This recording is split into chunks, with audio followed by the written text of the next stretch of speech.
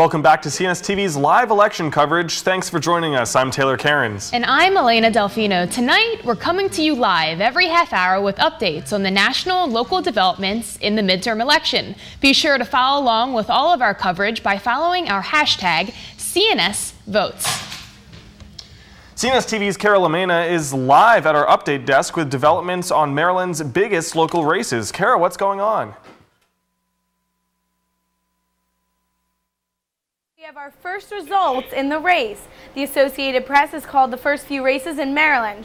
Republican Andy Harris has won the first congressional district seat. He took the race with 63% of the votes. Also, Democrat Steny Hoyer has been reelected to the U.S. House District 5 in Maryland with 64% of the votes over Chris Chaffee. Elijah Cummings, a Democrat, has also been reelected to the U.S. House District 7 in Maryland with 78% of the vote. The percentage of precincts reporting the results for the gubernatorial race is up from our last update to around 9%.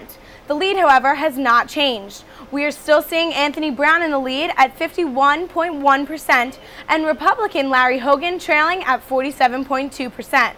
It is still anyone's game at this point. In other news, the Associated Press says voters across the country are expressing anger and even dissatisfaction with the Obama administration at the exit polls. Their biggest concern, the economy. Despite the drop in unemployment rates and soaring stock prices, voters say the economy is stagnant at best. Back in Maryland, the state house race remains in the Democrats' control. Geraldine Valentino-Smith, Stephen Slater, and Marvin Holmes are all pulling away. That's not to say Republicans aren't holding their own. Jason Buckel, Mark Fisher, and Andrew Serafini are all leading for the red.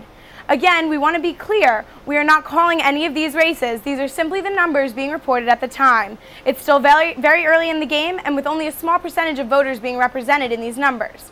Reporting live at the local update desk, I'm Carol Mena. Back to you guys in the studio.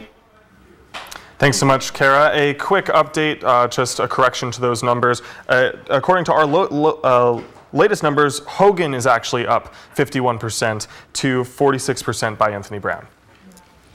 Now to the biggest race we're all watching, the race for Maryland's next governor. CNS TV's Anastasia Champ is in Annapolis with the latest updates from the Larry Hogan Election Day headquarters. Anastasia?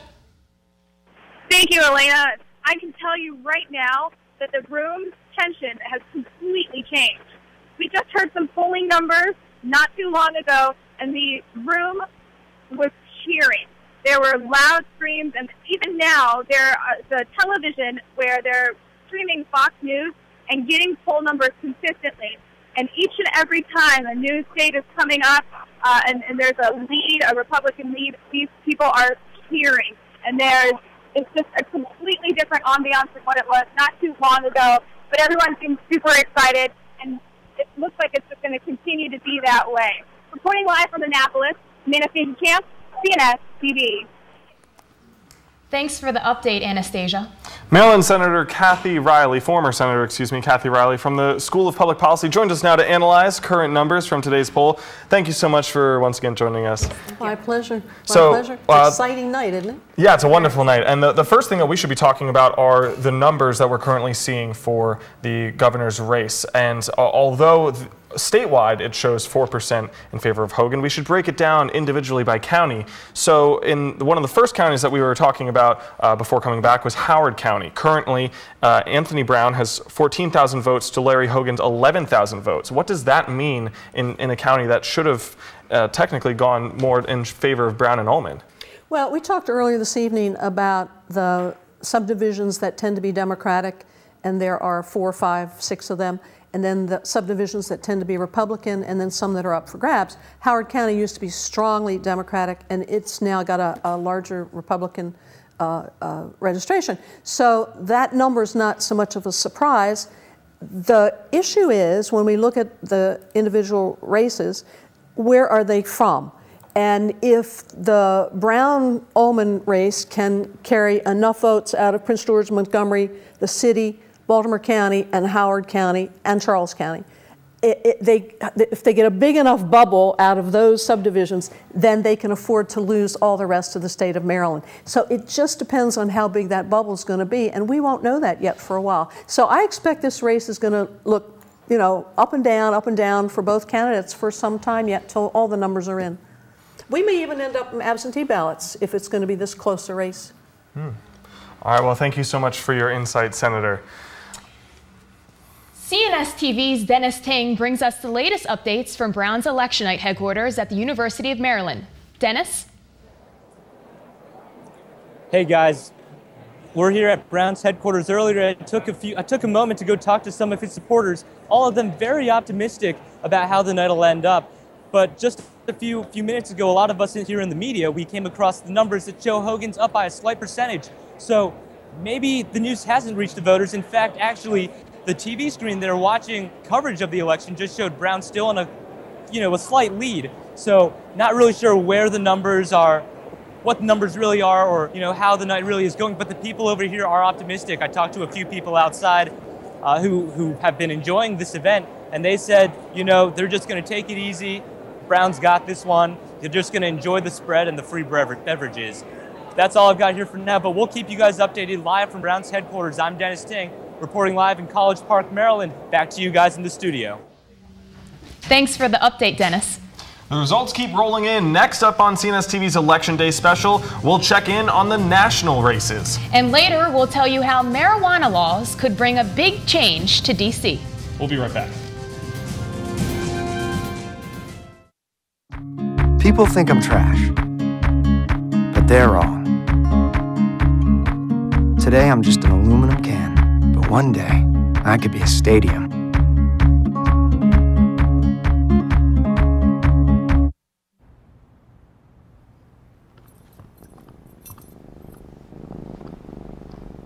There's a shelter pet who wants to meet you. Meet one today. Visit theshelterpetproject.org. Adopt. So who's going to do what? I'll pack the dead batteries. Great. I'll only put what I don't need into a duffel bag. Perfect. That's totally unhelpful. No problem. Meanwhile, I will try to comfort everyone by speaking in a calm voice. And who is going to handle supplies? I can forget to do a list for us. Thanks, pal. We couldn't be any less prepared. I'm proud of you guys. Talk to your kids about who to call, where to meet, what to pack. Visit ready.gov/kids for tips and information. I'm starving. What's for breakfast? Guten Tag! Johannes, Franz! I bring you arts-enriched Raisinblams, fortified with increased test scores and creative problem-solving skills. It's good! And good for you. Bobby? Susie?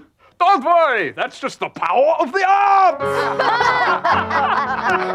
Feed your kids the arts. For 10 simple ways to learn how, visit AmericansForTheArts.org. So good to see you guys. So, what's up?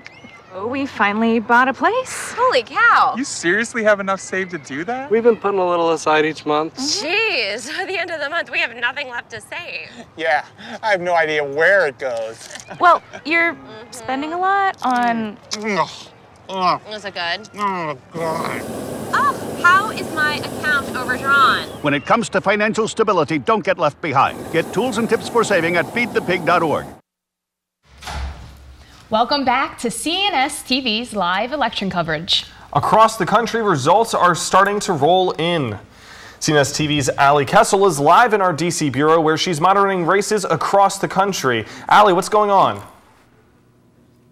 Thanks, guys. A few more updates from the national desk. Eleanor Holmes Norton is still securely holding onto her seat with 83% of the vote in her favor. Paul Strauss has 67% of the vote for the D.C. shadow senator to the U.S. Senate. And for the first time ever, D.C. is voting for their attorney general. Karl Racine is currently leading the vote count so far, though other candidates do have some solid numbers. Now, as results are starting to come in a bit faster, we do have an overall update for you.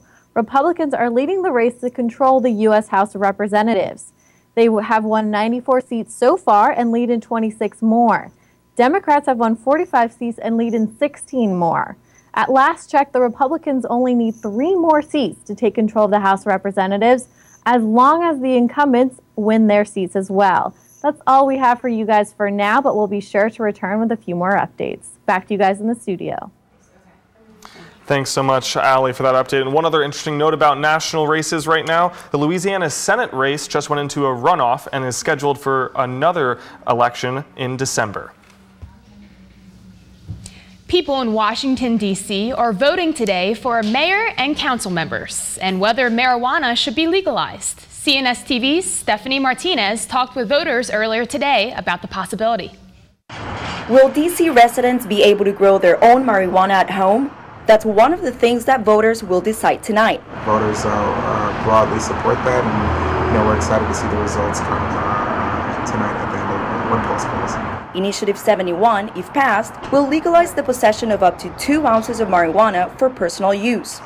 DC residents will also be able to grow up to six cannabis plants at home and give up to an ounce to another adult. I do agree that it's fine to have alcohol regulated, even though it hurts people sometimes too when it's misused.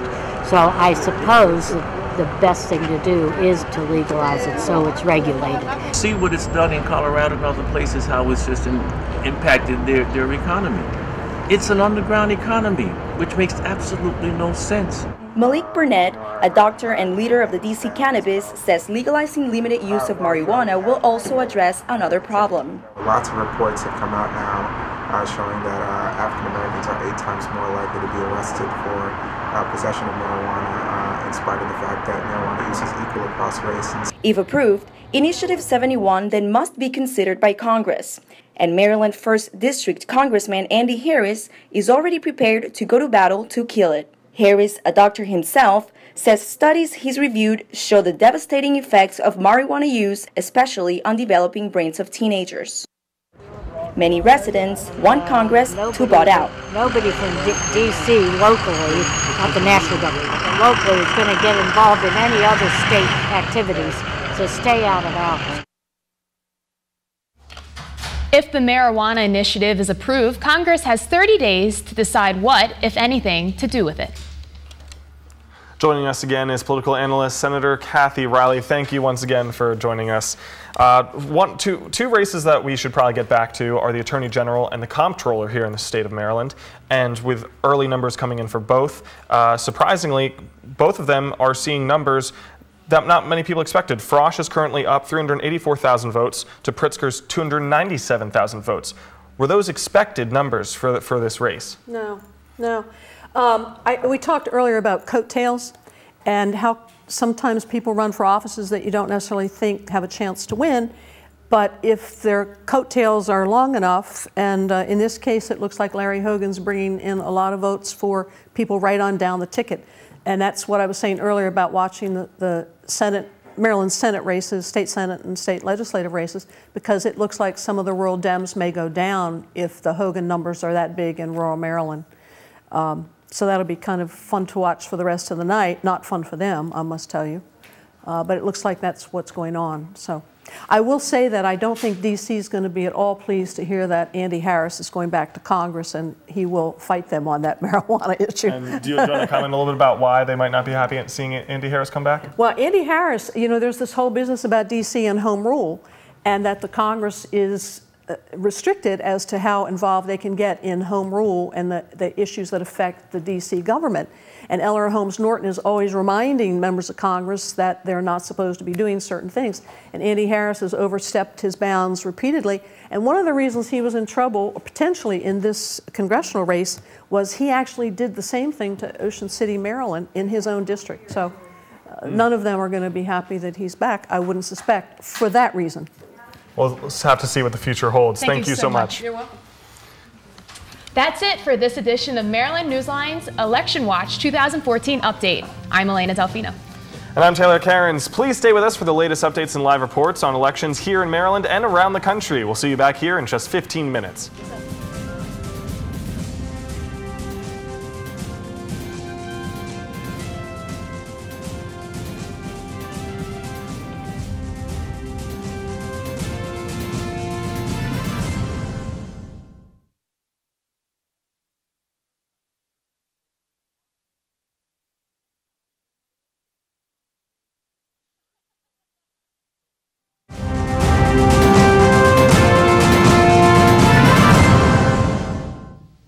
Welcome back to CNS TV's special election coverage. I'm Elena Delfino. And I'm Taylor Cairns. We'll be coming to you live every half hour with the latest on national and local midterm elections. Let's begin tonight with an update on our local race. We go live to the field to Joyce Coe for more information. Joyce? Thanks, Elena. I have some progress to report to you starting with the gubernatorial race. We have Larry Hogan leading the race by 53.25% and Anthony Brown holding down 45.03% of the votes. Taking a look now at the breakdown of counties to watch that I mentioned earlier in the evening, Howard County, Montgomery County, Prince George's County, and Baltimore City are all showing a strong pull for Anthony Brown. The counties along the eastern shore, however, Dorchester, Talbot, and Queen Anne's, to name a few, are high in numbers in favor of the Republican candidate Larry Hogan. Now in the comptroller's race, incumbent Democrat Peter Franchot is leading by 61.82% as Republican William Campbell trails with only 38% of the votes. It's a little bit closer in the Attorney General's race with the Democrat Brian Frosh leading by 54.11% and Jeffrey Pritzker now at 42.46%. Now to Maryland congressional wins. Right now we have Democrats Elijah Cummings of District 7, Steny Hoyer of District 5, John Sarbanes of District 3, and Dutch Ruppersberger representing District 2 have all been reelected. And Republican Andy Harris for District 1 is holding down the seat in Congress for the Red. Now, an update for question one and two. It's been decided now that voters have approved both of those questions. They were asked today on their ballots, and over the, the majority of voters favor the constitutional amendment for the restriction of transportation funds to only transportation projects. It's become common practice for governors and legislatures to use transportation funds as a general fund, but today's votes, we can see that it's going to change from today's votes. And in question two, which addresses the special election to fill spots in the office of Chief Executive Officer and County Executive is also passing with the majority votes of 80, 80% in favor of this constitutional amendment. Reporting live from the local update desk, I'm Joyce Coe for CNS TV. Back to you guys in the studio. Thanks for the update, Joyce. And now let's take a look at how the national race is shaping up tonight. Stephanie Martinez has the latest from our DC Bureau. What's going on down there, Stephanie? Welcome back to the National News Desk. And now we're going to take a look at the Senate races around the country. In Arkansas, Tom Cotton, a Republican, has won the open seat. Colorado, Cory Gardner, another Republican, got the seat. In Kentucky, Mitch McConnell, the Republican minority leader currently in the U.S. Senate, retains his seat as well. Montana, Republican Steve Daines has won the seat there. In New Hampshire, the open seat went to Democrat Jeanne Shaheen. In South Dakota, Republican Mike Rounds takes the seat. In West Virginia, Republican Shelley Capito wins over. In Delaware, Chris Coons, a Democrat, has won that spot. Rhode Island, Democrat Jack Reed takes the seat. South Carolina, Republican Lindsey Graham has won there. Also in South Carolina, due to special elections, a second senator has been chosen, and that is Tim Scott, also a Republican. In Nebraska, Republican Ben Sasse takes the open seat. In Minnesota, the most recent to be called is the Colorado race for Republican Cory Gardner. And with that win, Republicans just need two more seats to take control of the Senate. That's all we have for now. Back to you. Thanks so much, Stephanie. Senator Kathy Riley is here with political analysis and many other things to bring to us today. And Senator Kathy Riley, you know, the, the, we were just talking about Senate races. Uh, that's what Stephanie was just talking to us about. And what does a win like Cory Gardner in Colorado mean to the overall Senate? Well, Cory Gardner is a one term, maybe two term member of the House of Representatives. Uh, he defeated a, a really well liked woman out there uh, uh, just four years ago and now is moving up to the Senate. He's running a very interesting race, uh, kind of hiding who he is, was my sense of it.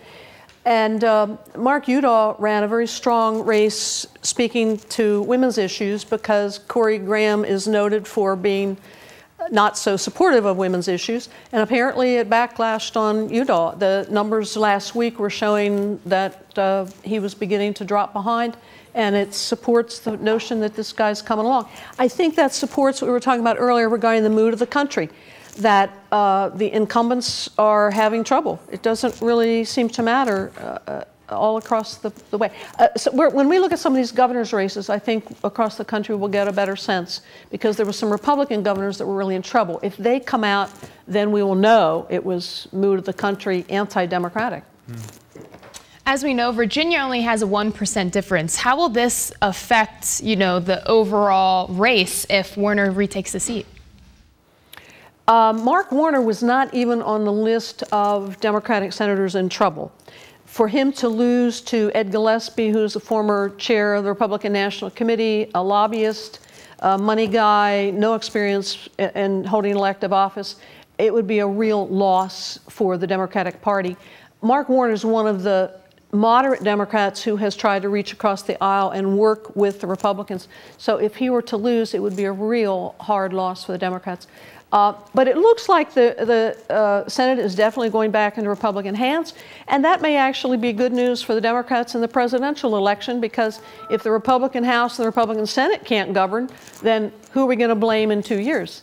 You know, I mean, that's the way it works these days. We'll have to see. Currently, the, the latest poll numbers show that uh, the Republicans are only one seat away from tying the amount of seats that have Democrats won, hold. They won the prior seat in Arkansas. They have uh, won the West Virginia seat. They won, I believe, the South Dakota seat. So I, they- they've got it. They've We'll- got it. We'll, we'll just have to see what happens. Thank you very much. Thank you. After the break, we'll answer some of the voters' questions about question one. And we'll take a closer look into what it's like voting with disabilities. Stay tuned. We'll be right back. That was great. New mom and I have a lot in common. the great outside. We both love the outdoors. So shiny. That's not a flower. We both love geology. Oh, look. An igneous one. That's not a rock. And she knows a lot about wildlife. a labradoodle. That's not a dog. Hanging out has been kind of fun. You don't have to be perfect to be a perfect parent. Thousands of kids in foster care will take you just as you are. Good evening. I'm Marissa Parra. And I'm Brett Hall. Coming up tonight on CNS TV, we are your home for everything Decision 2014. We have reporters all over the state covering the races that matter to you. We also have a team in our DC bureau taking a look at if the Republicans can take control of the Senate. All that and more coming up tonight on CNS TV. We'll see you at 11.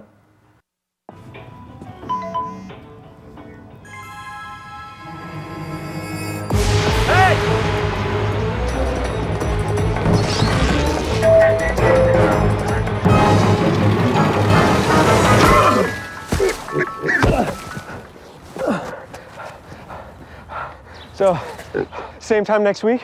Well, of course. Put away a few bucks, feel like a million bucks. For free tips to help you save, go to Feed the Pig. I grew up in the housing projects of Cleveland. I didn't even know that life could be any better than it was. Education for me has been a way to get away from the agony of what was normal life. I want to be able to impact the community, not just look back on where I came from, but to reach back to where I came from and pull some people up with me. My name is David, and I am your dividend. Welcome back to Maryland Newsline's special election coverage at 1030. When most of us think about voting, we tend to forget how hard a seemingly simple process can be for those with disabilities. CNS TV's Ali Kessel tells us about the changes that have been made to accommodate voters with some special needs. I signed an authorization to be able to help her in the voting area, and uh, she did very well. Bernice Addix has difficulty walking and standing for extended periods of time. Thanks to changes made by the Maryland State Board of Elections more than a decade ago, her husband Franklin is able to help her cast her ballot. They had a chair and that we could sit down, and we could bring the uh, the uh, screen up so it would be larger print so we could make easier reading. So they made it very convenient for you. All voting locations in the state of Maryland are required by law to be accessible. Ramps like these help handicapped voters get to the booths. But even with these laws in place, not all voters with disabilities feel their needs are being met. National Federation of the Blind President Mark Riccobono had to fight the state for those with visual disabilities to be included in the voting process. If you're a blind person or really a person with other disabilities and you want to vote absentee, you don't have equal access to a secret, uh, private, independent ballot. And that's exactly what these voters asked for equal access. They filed suit, and this past September, a Baltimore federal judge ordered the State Board of Elections to develop an online ballot marking tool in time for this year's general election. Denying us access to this accessible online ballot marking tool uh, was discrimination. But Riccobono says there's still work to be done when it comes to the actual polling places. Sometimes there's really not a, a dignity that we're presented with in the same way that the other uh, people at the polls are. And that comes from a lack of awareness about the capacity of blind people and our ability to uh, be independent. Only two other states have adopted online tools specifically to help disabled voters. Riccobono says the change here in Maryland is a big step in the right direction. Never before have we had access to absentee voting in this private and independent way. In Baltimore, Allie Kessel, CNS TV. The National Federation of the Blind buys and tests voting machines to test them for accessibility for the blind. To find out more, please visit www.nfb.org. And there is one question on the ballots that has many voters asking one question. Well, what is question one? CNS TV's Carol Lamena has the answer. Maryland voters are being asked to vote on question one, but that one question remains a mystery to many who will be heading to the polls. No, no, I've never heard of question one. Uh, no, I haven't. You've never heard of question No. one? No. Maryland transportation is among the worst in the country, but for the last 30 years, all the tolls, fees, and fines you may have thought were being used to help maintain the roads may have been spent elsewhere. And that includes the higher taxes you're now paying at the pump. is you know purged away for other uses that's not uh, you know fair to the residents and the voters of, of maryland Question one would put the brakes on that purge, preventing the governor from dipping into the transportation fund for non transportation issues. Bumper to bumper, day to day, drivers say the issues on the road are hard to miss. Yet some voters are willing to give a few hours in traffic in return for other changes in their communities. I believe that there's other issues where the funds could be used to help increase the livelihood of the individuals that live in, in, in this area, period. Political scientist Dan Nataf understands why some voters would rather be on cruise control, leaving the steering to the officials they've elected. You charge them with being responsible, so you should allow them uh, to do uh, what they see best because they're confronting the situation. Uh, we elected them to be, uh, you know, our trustees in office. The state has repaid most of the borrowed money, but not knowing when the money would come changed many of the state's major transportation projects from a green light to yellow or even red. and we're not saying that uh, education and all these other issues aren't very important but infrastructure is the backbone in our society The Committee to Protect Maryland's Transportation Fund is stepping outside the box and taking advantage of free ways to spread the word about question one. One of their techniques is using social media to spread this informational video.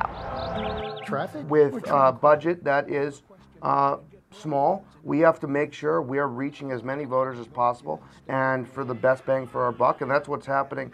But getting the word out about question one is proving to be a challenge. And with so many voters unfamiliar with the issue, backers of the constitutional amendment say that they fear the traffic for question one will come to a standstill. If they don't understand it, then they'll skip it. Reporting in Silver Spring, I'm Carol Amena, CNS TV. Thanks, Kara, for clearing up that question. And we're here with Senator Kathy Riley. Um, Senator, you told us during the break that question one is actually called the lockbox. Would you mind explaining that definition for us? Well, back in uh, the recession, the governor actually borrowed some money from the trust fund when other funds, were, like the general fund, was uh, hurt very badly and revenues were not coming in. That money has all been repaid, but the folks who support the transportation system, like the businesses and others, um, they thought that that shouldn't happen again. It actually has happened so many times in the past. When I was in the legislature, it happened all the time, but it always got repaid.